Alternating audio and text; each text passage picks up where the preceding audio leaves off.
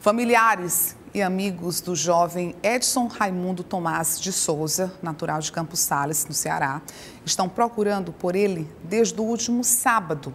O jovem, que hoje completa 28 anos de idade, foi visto pela última vez na sexta-feira da semana passada em uma festa no município de Caldeirão Grande do Piauí. Agora a gente vai acionar novamente a repórter Valéria Noronha, ela que tem informações a respeito do de desaparecimento deste jovem, né? Isso, Valéria, conta pra gente os detalhes. A família né, e os amigos desse jovem estão à procura dele desde a semana passada, é isso? Isso mesmo, Geandra. Bom dia novamente. A família de Edson Mudinho, como é conhecido, o rapaz, está desesperada procurando por informações de onde quer que esteja esse familiar. Ele desapareceu no último dia 28 de abril, lá na festa de Caldeirão do Piauí. Essa festa de Caldeirão Grande do Piauí aconteceu nesse dia e desde então a família não tem mais notícias do Edson Mudinho. Ele é natural do município de Campos Sales, no estado do Ceará. Então a família está fazendo esse apelo de qualquer pessoa que tenha visto, entre em contato é, e tenha visto o, o, o Edson mais conhecido como Mudinho, que entre em contato pelo número DDD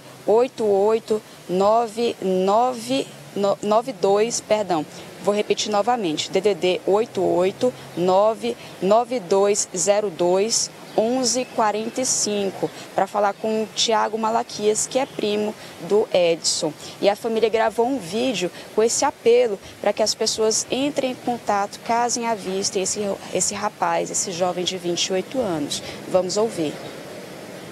É, meu nome é André Campos, sou advogado da cidade de Campos Salles amiga dos, dos familiares do Edson, conhecido como Edson Mubinho, né?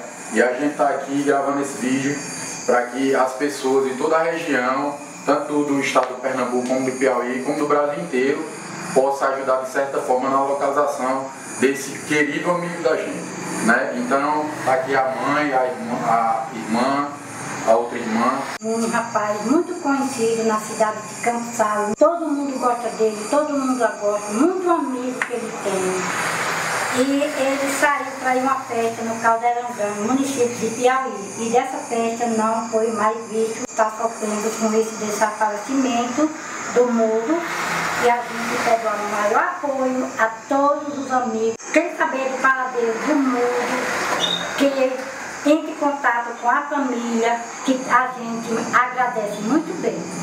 Lembrando que o Edson não sabe se comunicar por vibras, é através de gestos.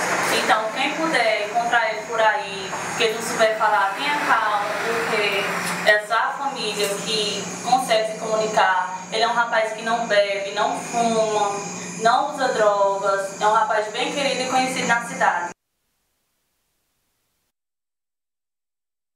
Então fica aí o apelo registrado da família Geandra para o Edson Mudinho, né? Quem puder encontrá-lo, por favor, entrar em contato através do número DDD 88 99202 1145, vou repetir de novo, DDD 88 99202 1145 para falar com o primo do rapaz, o Tiago Malaquias. Então, como especificou a família, ele tem deficiência, né? Ele não fala, mas ele consegue se comunicar por meio de gestos para que as pessoas que o encontrarem falem com ele com calma, que ele consegue entender por esses gestos e entrar em contato com a família que está aí ansiosa por reencontrá-lo.